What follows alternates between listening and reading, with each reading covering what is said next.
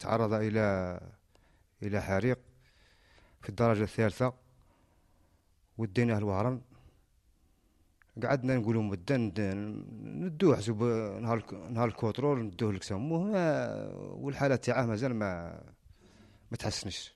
ونطلب من المحسنين يعاونوني باغا ندي ولدي للترك. با- وبا يسخسوا له ال- الحالة تاعه.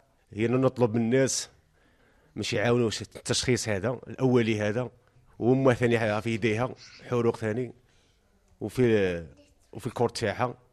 وهذا الطفل هو من من مخيلة النجباء في, الدراسة تاعه. ومن الأوائل وهو متاقلم في الوضع تاعه ما عندهش مشكل مع مع خوف الناس مجتمع يعني محروق راني داير ما عندهاش نورمال عادي مجتمع عنده واحد كوراج الله يبارك. ونطالب وزارة الصحة على رأسها وزير الصحة